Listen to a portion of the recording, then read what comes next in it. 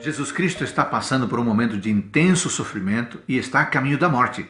Mas isso não o impede de deixar sete preciosos conselhos para nós, contidos em João capítulo 14. Número 1. Um, quando estivermos cansados, preocupados e com medo, pensemos nas habitações que Cristo está preparando para todos nós, seus filhos e filhas. Chegará um momento em que habitaremos com Ele para sempre habitaremos com Ele para sempre no lar que Ele está preparando para todos nós. Conselho número 2. Um dia, Jesus Cristo vai voltar para nos buscar. Precisamos aguardar e sonhar com esse dia. Conselho número 3.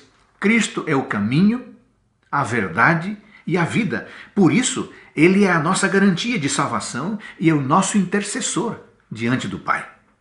Conselho número 4.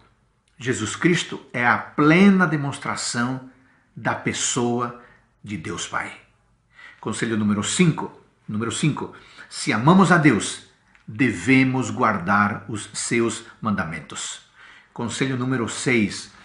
O Espírito Santo foi convocado por Cristo para estar sempre ao nosso lado e para nos ajudar.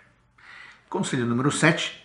Nos momentos de angústia, devemos clamar pela paz que somente Cristo, somente Deus pode dar.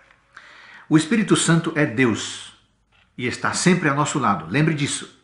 É o Espírito Santo que nos dá conforto, que nos traz esperança, nos traz um novo ânimo para viver, e o Espírito Santo faz com que nós lembremos as palavras de Cristo, os ensinamentos de Cristo, e o Espírito Santo que nos conduz no caminho da salvação.